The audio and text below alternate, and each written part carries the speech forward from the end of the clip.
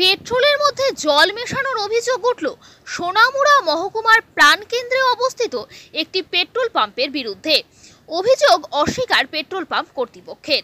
পেট্রোলের মধ্যে জল মেশানোর অভিযোগ উঠল সিপাহীজলা ত্রিপুরা জেলার সোনামুড়া শহরের প্রাণকেন্দ্রে অবস্থিত এক পেট্রোল পাম্পের বিরুদ্ধে। তবে অভিযোগ অস্বীকার করেছে পেট্রোল পাম্প কর্তৃপক্ষ। সোনামুড়া রবীন্দ্র চৌমুহনীতে অবস্থিত এক দোকানদার সোনামুড়া ধলিয়াইতে অবস্থিত ইন্ডিয়ান অয়েল কোম্পানি প্রদত্ত পেট্রোল থেকে বাইকে পেট্রোল ভর্তি করে আগরতলার উদ্দেশ্যে যান। কিন্তু আগরতলা যাওয়ার পর তার বাইকে সমস্যা দেখা দেয়। যথারীতি তিনি মেকানিককে বাইকটি দেখালে, তখন তিনি বাইকের পেট্রোলের ট্যাঙ্কি থেকে পেট্রোল বের করতেই দেখা যায়, পেট্রোলের মধ্যে পেট্রোল থেকে জলের পরিমাণ বেশি। অভিযোগকারী অবশ্য এই ঘটনাটি সঙ্গে সঙ্গে পেট্রোল পাম্পের মালিককে জানান। পেট্রোল পাম্পের মালিক বলেন, অভিযোগকারীর বাইকের তেলের ট্যাঙ্কিতে জল জমেছে, নতুবা এই ঘটনা ঘটতে পারে না। এই বিষয়ে অভিযোগকারীর বক্তব্য, বাইকে তেলের ট্যাঙ্কিতে জল ঢোকার কোনো উপায় নেই। অপরদিকে, উক্ত অভিযোগের বিষয়ে পেট্রোল পাম্প কর্তৃপক্ষর কাছে জানতে চাওয়া হলে তারা ঘটনাটি অস্বীকার করে। তারা জানান, অভিযোগকারী তার অভিযোগ সম্পর্কে পেট্রোল পাম্প কর্তৃপক্ষকে জানিয়েছে, কিন্তু তাদের পেট্রোল পাম্পে এখনও পর্যন্ত এই ধরনের কোনো অভিযোগ আর পাওয়া যায়নি।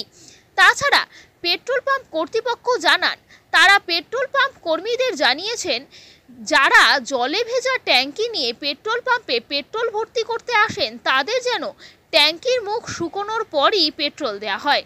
তবে এই ঘটনায় সাময়িক চাঞ্চল্য সৃষ্টি হয়েছে সোনামুড়া বাজার এলাকায়। একাংশের অভিমত, সঠিক তদন্তের মূলেই আসল রহস্য উন্মোচন হবে। বিক্রম কর্মকার ত্রিপুরা। এই তো আমি সবসময় সাইকেল লোনের পর থেকে মনে করেন আমি পুরান বিউসির থেকে মাখনবাবুর বিউসিতে তেল ভরি।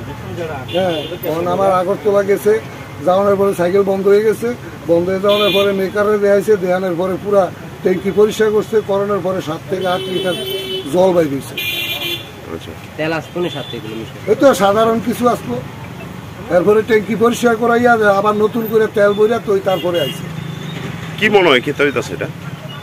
এটা তারা কি করে কে আমি দেখাইছি মালিকের মালিকে কইতে আছে এটি বলে সাইকেলে বলে জল ধুয়ে। এই ক্ষেত্রে আপনার মানে এই কোনো সময় সাইকেলকে বৃষ্টিতে রাখেন বাইরে রাখেন বা ওই বেশিরভাগ সময় তো আমরা সাইকেল মানে চালের নিচেই থাকি। আচ্ছা। আগে পাইছিলেন না এরকম অন্য সময় কোনো না না। প্রথম আর এই তো প্রথমই দেখতে আছে। আমি সাইকেল ছিল আর আট দশ বছর হয়েছে। ও, কি তার ডিস্টার্ব দেওয়া দিয়েছিল সাইকেল? নকিং করে সাইকেল চলে না। অফ হয়ে যায়। আচ্ছা। আপনার নাম কি? রঞ্জিত কর। যে বলেছে উনি কালকে এসেছিল আমাদের এখানে উনি আসার সঙ্গে সঙ্গে আমি বলেছি যে আমাদের ট্যাঙ্কে কোনো জল নেই। আমাদের ট্যাঙ্কে যে কারণ আমাদের এমন নয় যে শুধু উনি একজন কাস্টমার আমাদের পুরো সোনামুড়া আমাদের এখান থেকে তেল নেই। তাই আমি এমন কোনো কমপ্লেন আমার কাছে আর আসি উনি উনি বলেছেন তাই আমি সঙ্গে সঙ্গে বলেছি যে আপনার ট্যাঙ্কে যে আপনার যে বাইক আছে বা গাড়ি ছিল যেটা থেকে বের করেছেন ওটার মধ্যে হান্ড্রেডে হান্ড্রেড পার্সেন্ট জল ছিল আগে থেকে। যে কারণে এখন আমাদের যে পেট্রোল, নতুন পেট্রোল এসছে বিএস সিক্স ওটার মধ্যে ইথানল মেশানো। আর ইথানল এমন একটা জিনিস যেটা জলের সংস্পর্শে আসলে আস্তে আস্তে এটা জল হতে থাকে তেলটা। তো উনি সবসময় তেল ভরেন আমার এখান থেকে।